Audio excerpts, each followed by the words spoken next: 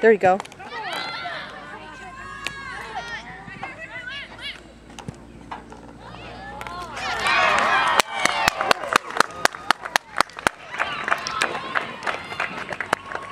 Goal number 12, Catherine Blogrun.